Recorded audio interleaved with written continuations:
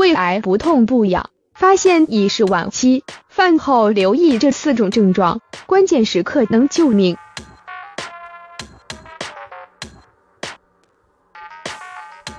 胃癌是目前发病率很高的一种癌症，其致命率很高，主要原因就是胃癌确诊的时候往往已经是中晚期了。即便是某些医生自己，也经常将自己的胃癌当做普通的胃病来治。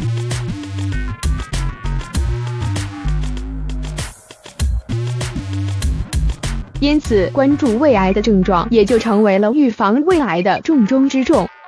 那么，胃癌都有哪些具体的症状呢？常言道，十人九胃，胃不好已经成为了现代人的通病。研究显示，全球每年新发胃癌有百分之四十以上发生在中国。而且百分之八十五以上的胃癌患者被确诊时已经到了中晚期，其五年生存率迅速降到百分之二十以下。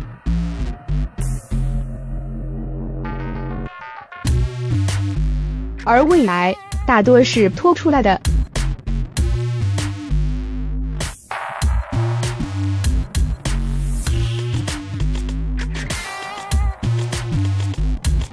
胃癌早期具有隐蔽性，其中出现的泛酸、恶心、嗳气等现象，让不少人误以为是小胃病。即便在体检的时候，人们也更倾向于选择抽血检查、选择胸片、选择腹部彩超，但是却极少人会主动选择胃镜检查。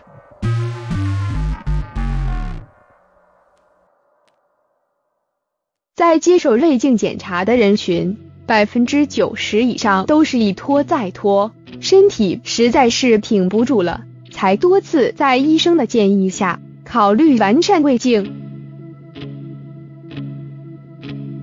而大部分胃癌都是胃镜筛查出来的，这样就错过了最佳治疗时间，导致癌症恶化。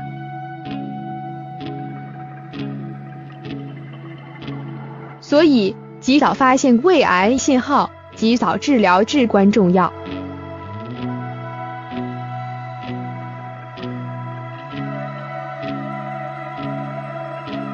胃癌多是拖出来的，一旦饭后有四种迹象，别迟疑，赶快就医。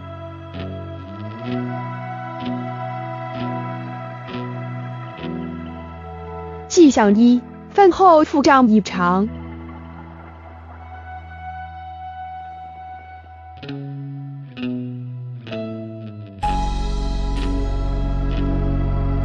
上腹部不适也是胃癌最常见的突发症状，主要表现为进食后有饱胀感，甚至在只吃了少量的食物后，你也会感到异常的饱。经常反复发作，但持续时间并不长，症状也不是很剧烈，容易被人误以为是消化不良或胃炎，因此被忽视。迹象二：消化不良。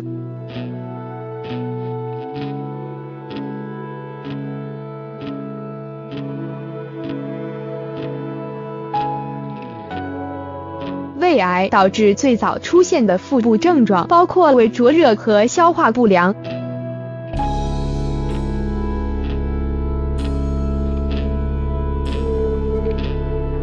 胃灼热，一种胸部和上腹部的烧灼感。是因为胃酸回流到食道，就会引起灼烧，出现常说的烧心症状。而胃里长有肿瘤，因此会导致胃里食物分解不当，进而导致打嗝和消化不良的其他症状。迹象三：恶心呕吐。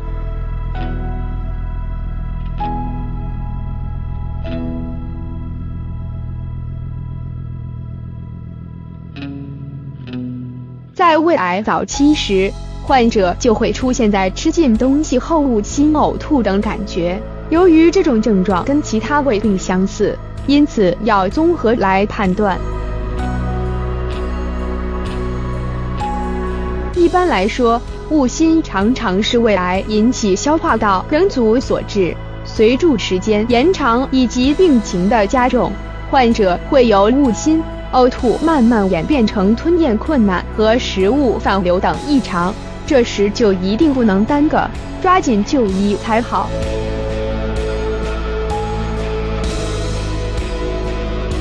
迹象四：出现黑便。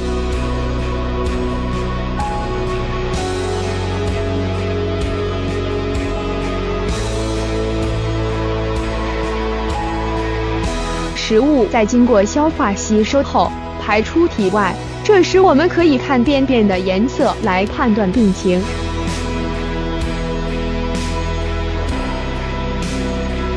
一般来讲，出现黑便时，往往提示肿瘤已是中晚期，胃癌也是如此。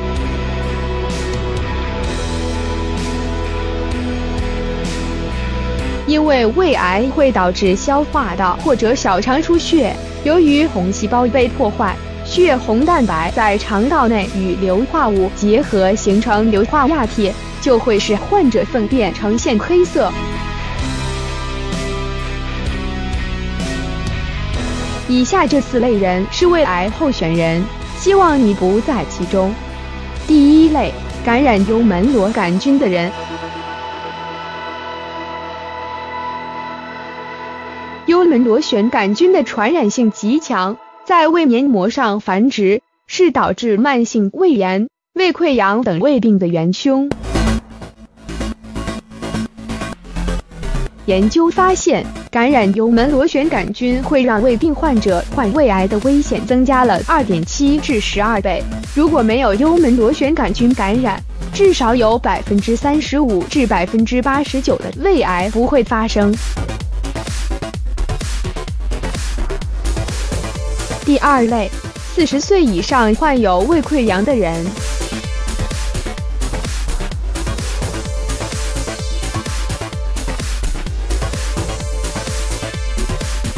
四十岁以上的人群，本来身体的机能就处于慢慢下滑的状态，如果再患有胃溃疡，就会更加危险。第三类，常吃腌制、烧烤食物的人。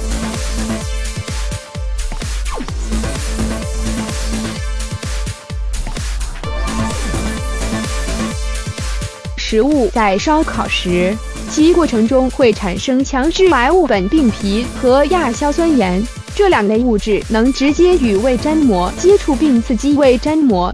常吃烧烤的人患胃癌几率要比少吃烧烤食物者高二十倍。与烧烤食物相似，咸鱼、腌菜、咸蛋、火腿等食物在腌制的过程中。会产生大量亚硝酸盐，摄入体内就易增加癌变风险。生活中要想预防胃癌，养好胃，谨记三要：四少，胃会越来越好。三要：一要喝养胃茶水，茶疗在调理胃病方面有其独特的优势。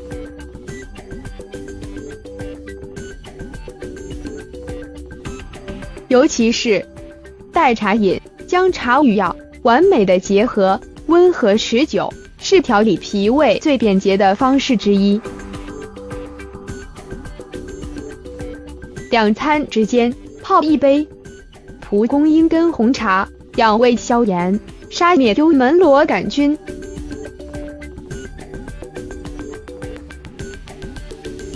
蒲公英又叫做婆婆丁。是一种常见的药食两用的小植物，适度的将蒲公英发酵制成蒲公英根红茶，可以大大降低蒲公英寒性，适合长久饮用。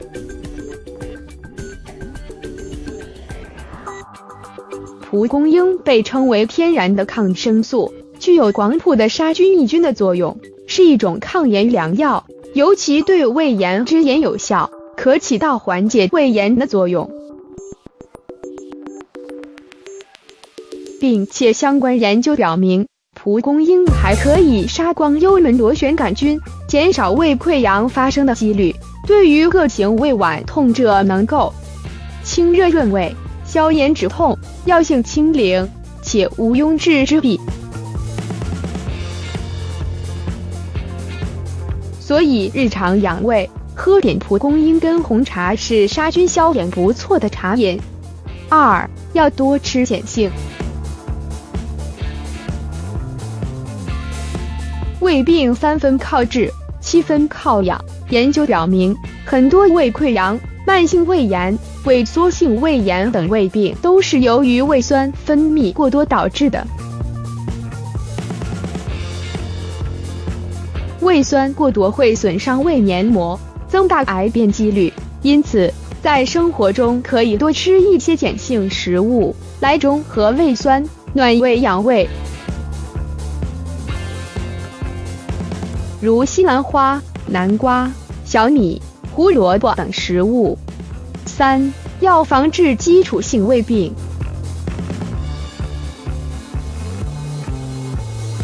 慢性萎缩性胃炎、肠上皮化生、胃溃疡、胃息肉、术后残胃、恶性贫血和幽门螺杆菌阳性的各种胃病患者，以及有胃癌宗族史的人、四十岁以上胃病久治不愈的患者等。都应定时复查，以便能够及时发现胃癌，及时医治。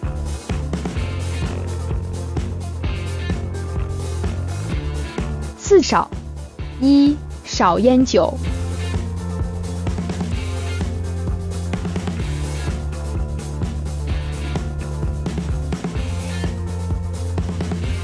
吸烟可增加溃疡病和胃癌的发病率。并且饮酒会将酒精摄入体内，可直接破坏胃黏膜屏障，引起胃出血。所以胃不好一定要少碰烟酒。二少吃烫，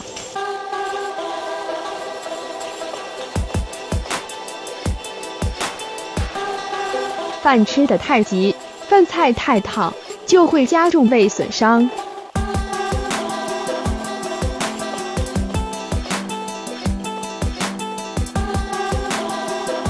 我们的口腔和食管表面覆盖的黏膜，适宜的进食温度是十至四十度，一旦超过六十五度，便能烫伤黏膜，导致食管炎和胃炎。三少压力。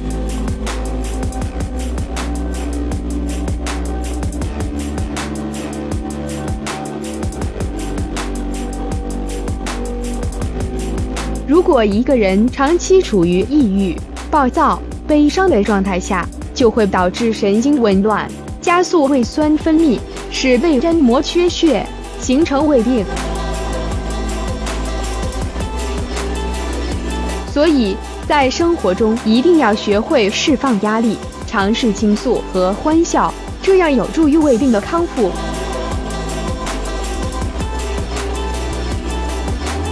四。少熬夜，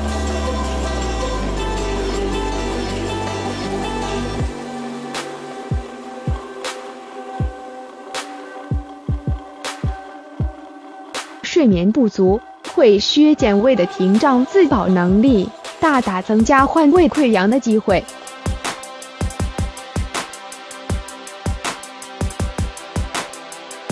充足的睡眠对胃不好的人。是修复胃的一剂天然的良药。